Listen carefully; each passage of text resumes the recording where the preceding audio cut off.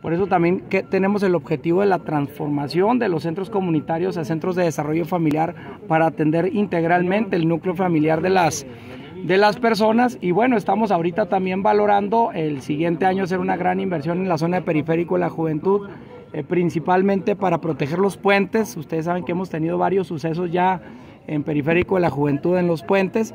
Y el siguiente año vamos a hacer una gran inversión para proteger esta situación y bueno, pues que se presenten eh, menos situaciones así.